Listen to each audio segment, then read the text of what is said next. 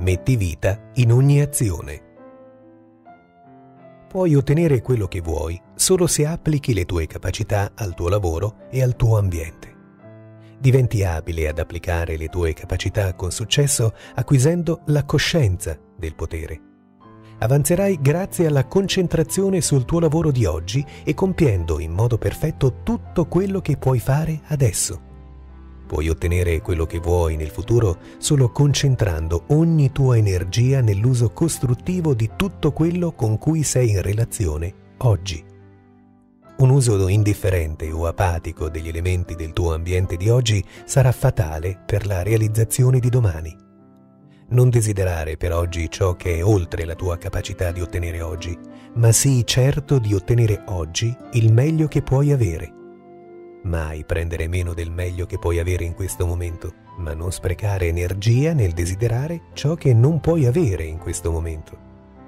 Se hai sempre il meglio che puoi avere in un dato momento, continuerai ad avere sempre cose migliori, perché è un principio fondamentale dell'universo che la vita debba continuamente avanzare verso più vita e verso l'uso di cose grandi e migliori.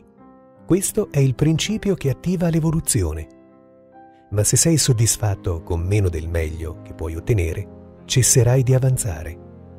Ogni relazione di oggi, che si tratti di business o delle relazioni familiari o sociali, deve essere da te considerata come un trampolino di lancio per ciò che desideri in futuro.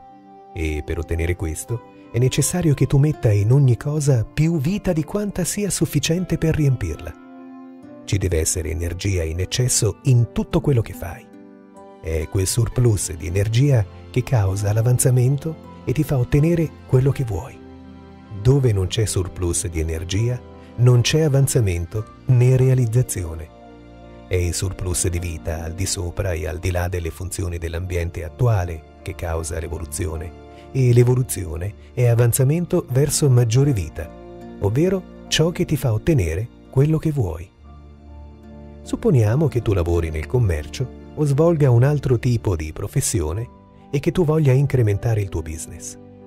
Non accadrà se ti limiti a vendere i tuoi beni o servizi in modo meramente meccanico, prendendo i soldi del cliente, offrendogli un buon prezzo e lasciandolo andare via con la sensazione che non avevi alcun interesse nei suoi confronti, oltre a fornirgli un trattamento equo e profittevole. Se il tuo cliente non sente che tu hai un interesse personale per lui e per le sue esigenze e che sei sinceramente desideroso di aumentare il suo benessere, hai fatto un errore e stai perdendo terreno. Quando riesci a trasmettere in ogni cliente la sensazione che stai veramente cercando di favorire i suoi interessi come fossero i tuoi, la tua azienda crescerà. Non è necessario dare premi o fare migliori offerte di altri per raggiungere questo obiettivo. Esso si raggiunge mettendo vita e reale interesse in ogni transazione, per quanto piccola. Se desideri cambiare il tuo lavoro, rendi il tuo business attuale un trampolino di lancio per quello che desideri e finché operi nel business attuale, riempilo di vita. L'eccedenza di energia ti porterà verso quello che desideri. Metti un vivo interesse in ogni uomo, donna e bambino che incontri sia nel mondo del lavoro che in quello sociale e desidera sinceramente il meglio per ognuno di loro.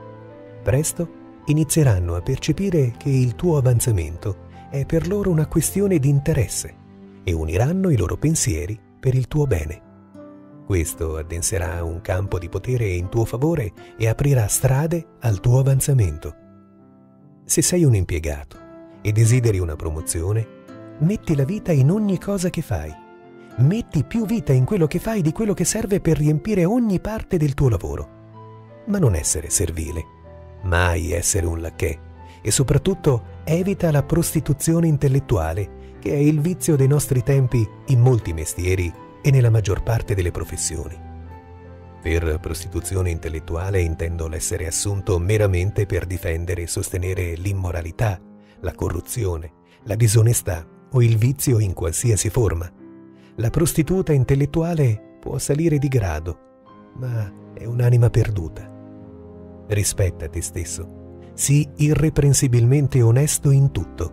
Metti vita in ogni azione e pensiero e concentra il pensiero della coscienza del potere sul fatto che tu possiedi il diritto alla promozione.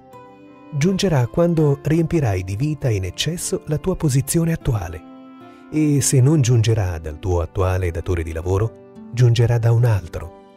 È la legge che dice che chiunque riempie il posto attuale oltre le sue capacità di contenimento deve avanzare.